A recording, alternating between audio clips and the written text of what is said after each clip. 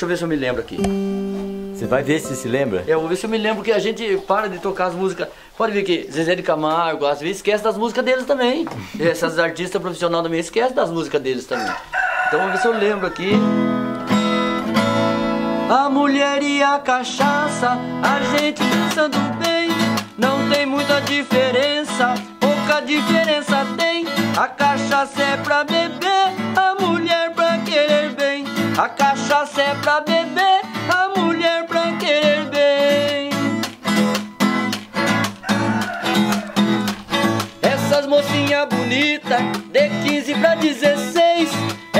cachaça muito forte, foi bom lambique que fez.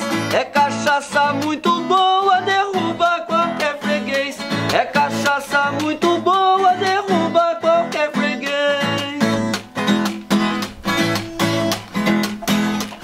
Essas viuvinha nova que é tão doida pra casar. É cachaça misturada, todo mundo quer comprar. Tem freguês que bebe muito e depois. Tem freguês que bebe muito e depois garra tombar. Essas velhas de 80 não serve mais pra casar. É cachaça muito fraca que ninguém não quer comprar. É fundo de garrafão,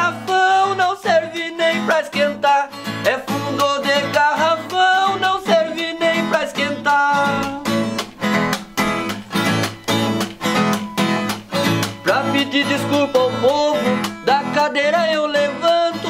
Tudo isso é brincadeira, falo mesmo sem espanto. Da cachaça eu não gosto, da mulher eu não garanto.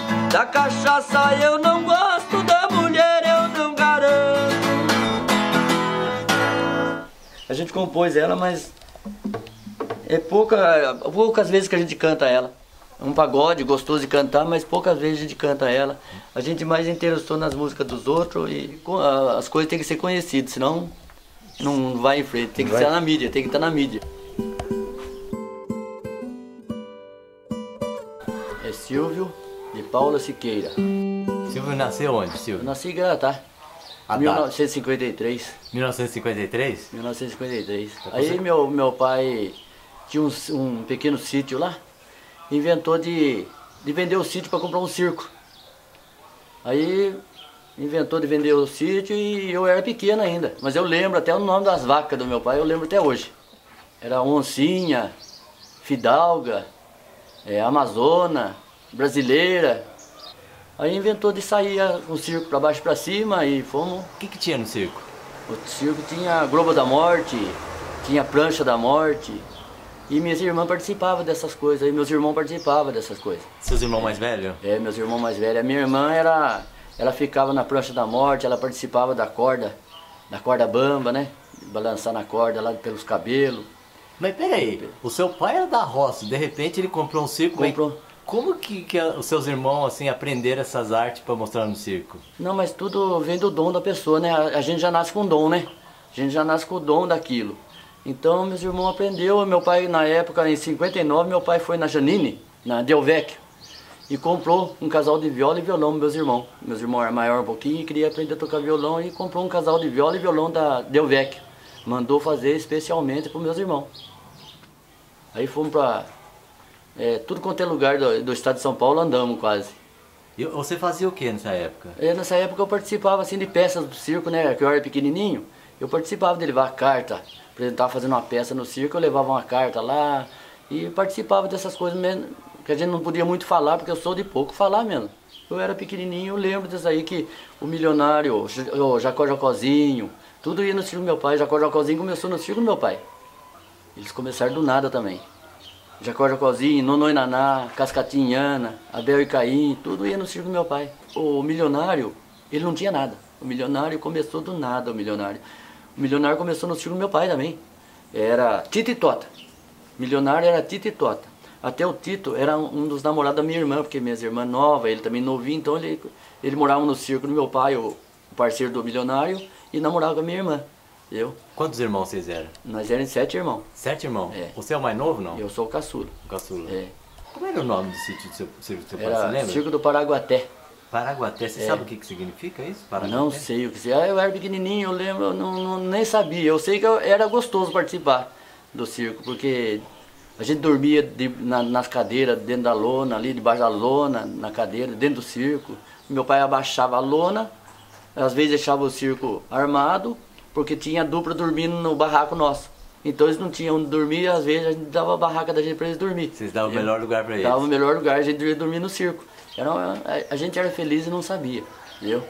E, escuta, e escola? Você ia na escola ou não? Como é Então, foi? a escola nossa, a gente ia na escola, mas só que a gente perdeu tempo da escola, porque minha mãe não ligava muito pra gente. Aí chegava, em vez de ir pra escola, a gente tinha um campo lá que tinha um- umas goiabeiras lá, a gente ia catar goiaba, ia comer goiaba. E por, por causa de comer goiaba que hoje tá fazendo falta pra gente.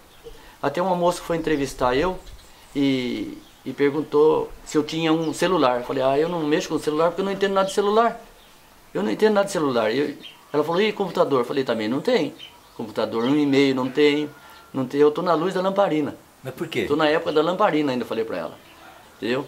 E eu tô naquela época de gostosura, porque naquela época a gente dá mais atenção pra família. Hoje em dia o computador tirou tudo. Hoje em dia o marido vai pro quarto ou vai pra sala e a mulher fica na sala ou, ou no quarto, deixa o marido, não sabe nem o que tá acontecendo com o marido lá. Então, eu quero viver assim porque eu me dou muito bem com a minha mulher. E eh, se eu for, tiver o computador, eu vou abandonar minha mulher e eu não quero abandonar ela. Porque no final da minha vida é ela que vai cuidar de mim. Ela vai fazer tudo pra... E o computador não vai fazer isso pra mim. Ele vai ficar abandonado no cantinho lá. Então eu não quero saber de computador. Não quero saber mesmo de computador. E como é que foi o começo dessa coisa da música pra você, assim? É, no começo da música foi que eu arrumei uma violinha velha lá. Essa violinha eu achei porque a gente não tinha dinheiro para comprar viola. E Mas onde? Achei no lixo, achei jogado no chão. No, no- a gente, eh, na roça, o pessoal não, não esquentava a cabeça com isso. Então, achei essa violinha no lixo e consegui a, a a comprar umas cordas para ela. E meu irmão não gostava que eu tocava a violinha, porque eu ficava atrapalhando eles, porque eles eram uma dupla, Zoca e Zuca. A dupla dos meus irmãos é Zoca e Zuca e duas irmãs chamadas Selene e Celina. Zoca Zuca e Celina. Se apresentava no circo. Saía do nosso circo e ia apresentar nos outros circos também. E aí comecei a tocar a violinha. Ah, Eu, eu não me lembro a música que eu comecei a tocar lá. Eu sei que é uma música do, um Carreiro e Pardinho. Se você lembrasse ela e tocasse, eu É. ia achar muito legal. Vamos ver se eu consigo lembrar. Vamos ver se ele- Eu estava no portão quando carteiro passou, tirou da correspondência uma carta e me entregou. Abri a carta pra ler, os meus olhos se orvalhou. Quando eu li o cabeçalho, os meus olhos se orvalhou. Ai, no chão pingou. Então é uma música que a gente canta, eu cantava ela, eu aprendi a cantar. Foi a primeira música que eu aprendi a cantar na minha vida. E a gente deixou pra lá porque a gente agora tem uma- umas músicas mais modernas um pouquinho que a gente pegou, mas pra gente cantar não é moderna, mas é uma música que fala também da roça, né? Eu passei na sua terra, já era de madrugada, as luzes da sua rua estava quase apagada. Fiquei horas recordando a nossa vida passada, do tempo do nosso amor que se acabou tudo e nada.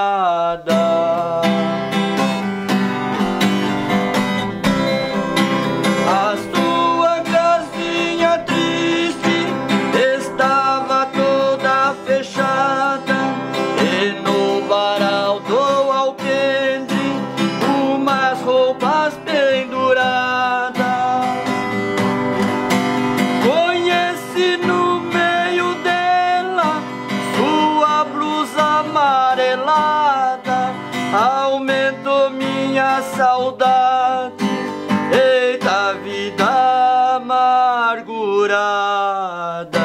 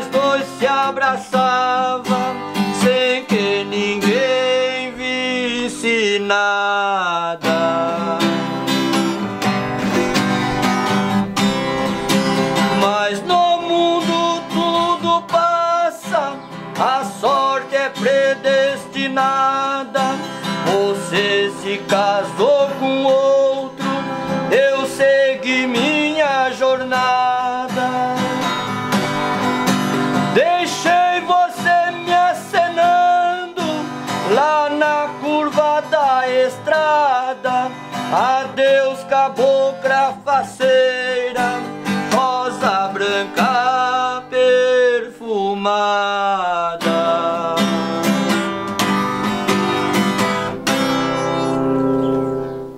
A gente tem que gostar de tudo um pouco e cantar de tudo um pouco. Porque não é em certo lugar que a gente vai, o pessoal pega, pede música raiz.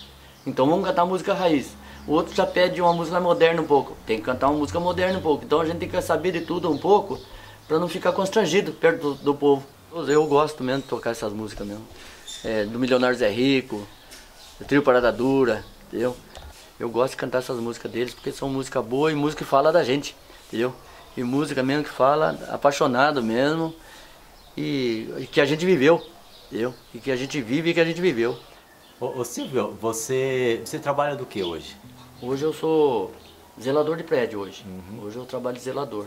Porque eu trabalhava de segurança em fábrica e depois eu fui morar na roça, trabalhar na roça um pouco e fiquei pra roça lá e depois eu voltei pra cá e trabalhando zelador agora. Tá. E- mas eu, eu sei que você tem um, você faz outras coisas, né? Eu Você- faço artesanato, eu faço, faço o que pode, o que, o que dá na minha cabeça eu vou fazendo.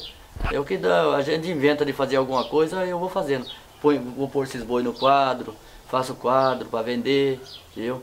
Então a gente faz o que, que acho que dá, a- cabeça da gente que é, tem que sair um pouco do mundo. Porque isso é uma terapia pra gente, então eu gosto de fazer essas coisinhas. Quer mostrar essas coisas que você faz, então? Vamos mostrar? Faço isso, Ai, como é que chama isso aí? Canga, Canga? isso é canga. E aí, você faz isso e o que, que, que você faz com isso? Vende, Não, dá? eu faço, se alguém quiser de encomenda, eu faço para encomenda.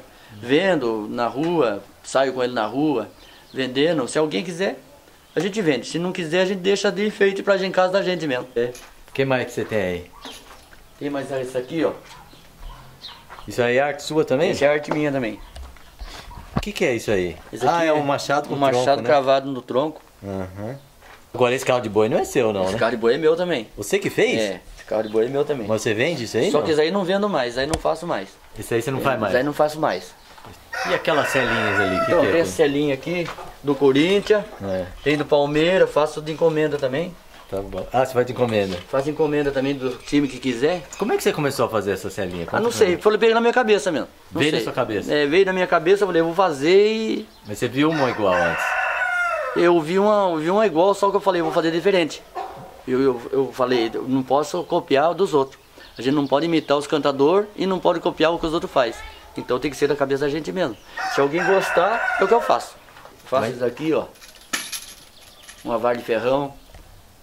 Escuta, mas e, e onde você arruma as madeiras pra fazer isso aí? A madeira a gente pega por aí pelos depósitos, né? No depósito? No depósito. Mas você compra as madeiras ou é descarte deles? Não, descarte deles, né? Ah, Mas pro ferrão não é em depósito que você arruma. Não, o ferrão, esse ferrão aqui é mandado fazer na fábrica, né? Esse aqui eu mandei fazer na fábrica especialmente pra mim mesmo. Ah, esse tá. aqui já vou guardar pra mim mesmo, essa Isso aí- varinha. Isso aí você vai querer ficar com você. Essa varinha eu trouxe lá do sítio. O que, que é? Que Essa madeira varinha- que é? Essa aqui é, é piúva. Piúva. É. Isso aí você quer ter na sua casa, Esse né? aqui eu quero ter na minha sala, Aham. entendeu? Pra me lembrar os tempos, porque esse aqui tá, acabou tudo. Esse não existe mais. Então acabou, eh, tá acabando, tá se acabando a, a tradição da gente e eu não quero, eu quero manter a tradição de caipira ainda. Eu sou caipira, eu quero ser caipira. Ô, Silvio, mas você vai continuar morando na cidade sempre? Como é que ah, é? eu prefiro, eu queria tanto morar na roça, né? Mas só que a roça hoje em dia não dá mais, né, Chico? A roça hoje em dia não. Hoje em dia é só pra passear mesmo. Roça não tem jeito não, porque viver da roça, muita gente tá vendendo roça pra vir embora pra cidade, porque perdeu o valor a roça. Camarada de roça não tem mais. Hoje em dia você faz uma plantação, você não acha camarada para limpar a roça. Entendeu? Quem tem uma roça tem que ter um capital bom para manter ela, senão não compensa. Porque hoje em dia o pessoal tá é fábrica, vem pra cidade, gosta da cidade, então tá ficando na cidade. E quando você saiu da roça, que ano que foi, você lembra? Você tinha que idade, mais ou menos? Ah, quando eu saí da roça eu tinha 19 anos. 19. É. Por que, que você saiu? Ah, eu saí porque a gente. É é o que eu falei pra você agora, acabei de falar. A gente vem pra cidade, sente o gosto da cidade e não volta mais, entendeu? Eu vim pra cá em 76, 77, aí não voltei mais. Que entendeu? gosto que a cidade tem? Ah, não sei, é, é diferente da roça, porque lá na roça é sofrimento só. Na roça é só no cabo da enxada, no cabo da foice e, e é só sofrimento. É, é feliz porque a gente sai jogar bola com os amigos, perde os amigos bons que a gente tem, mas o resto tem que lutar mesmo, é no cabo da enxada, mesmo no cabo da foice mesmo, então é difícil. Roça é difícil. É muito, a pessoa fala assim, nossa, eu vou passear na roça, lá é gostoso, roça é gostoso. Todo mundo fala, roça é uma delícia. Você pega o carro aqui, vai pra roça, lá você almoça lá, tá tudo prontinho. Mas eu quero ver pegar no cabo da enxada. Eu quero ver pegar no Guatambu ali, trabalhar o dia inteiro, des- des- das 7 horas da manhã até 5 horas da tarde. Aí eu quero ver se o camarada. É três dias o camarada vai embora pra cidade. não aguenta? Não aguenta. Caminheiro que passar